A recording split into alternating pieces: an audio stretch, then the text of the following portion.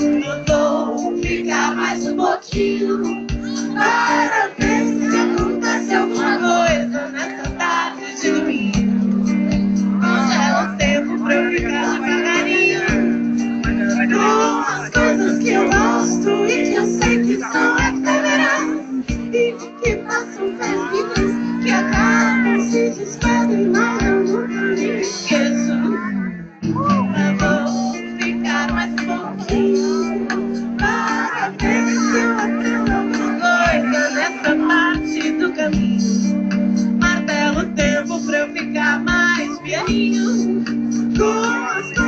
Eu gosto e que não passou atrás. Então dispara.